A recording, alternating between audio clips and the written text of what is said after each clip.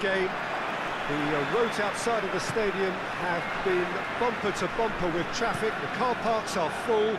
There is a torrent of humankind making its way from the nearby station, and we expect every seat to be filled.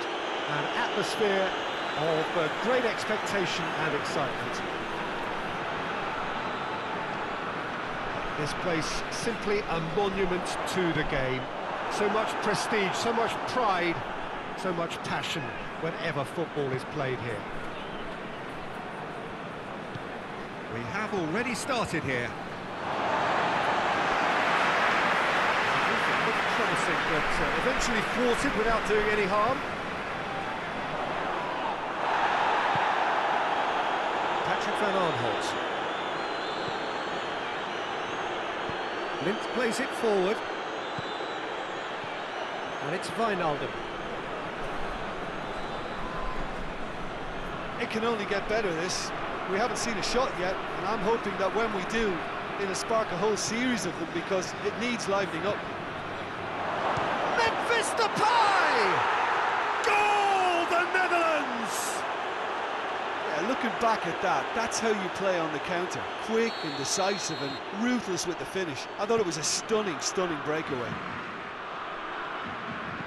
The Netherlands get themselves into the lead. It shapes to shoot! Great build-up. He all deserved a better ending.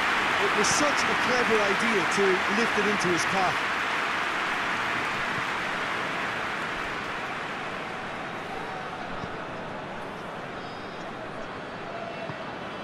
Memphis Depay is onto it and can take it up. Well, that's where he wants it. Oh, well intercepted, really alert to the danger.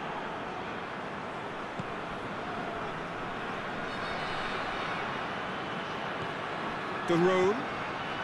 Well, they would seem to be trying to expose the centre of that defence to, to runners. Makes for some terrific movement. It does, and they may be hit on the break because obviously it requires numbers forward to, to stretch them out. De Ligt. Lint tries to get it forward quickly.